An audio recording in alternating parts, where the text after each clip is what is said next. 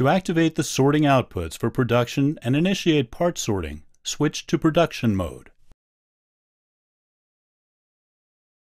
Do this by clicking on the Start Production button. An overview appears in which you can start a new production order. Here you can define a production order and batch number. First, enter the production order.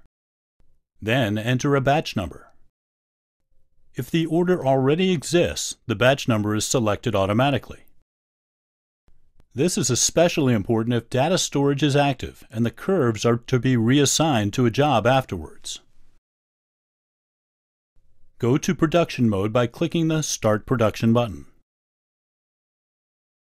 You can see here how the screen changes from yellow for measuring mode to white for production mode.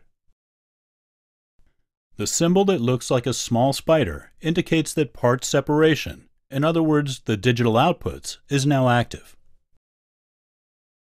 In measuring mode, part separation is deactivated by default.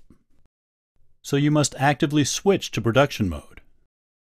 Check functionality with the button Test Digital Inputs and Outputs. You can see in the example how the Sort EO's LED lights up. To stop production, select Interrupt Production, and then Interrupt Production or Terminate Production.